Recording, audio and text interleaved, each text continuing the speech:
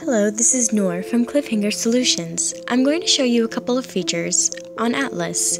First, we're going to start by selecting objects on the map by dragging the box or by simply clicking. With this, you're able to highlight individual objects to get information.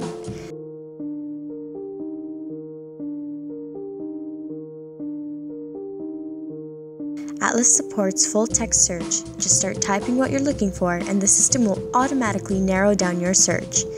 We are going to look for a wood pole, and there's the one we're looking for.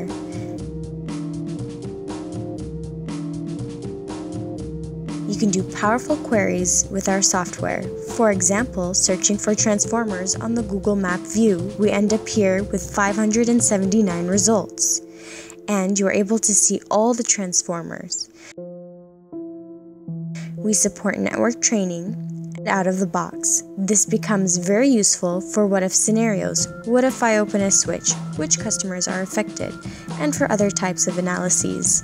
We offer personalized settings such as bookmarks. And if your device is capable of GPS, we can provide you with directions. If you have any questions, would like more information, or to schedule a demo, feel free to contact us. Cliffhanger Solutions delivering more than maps.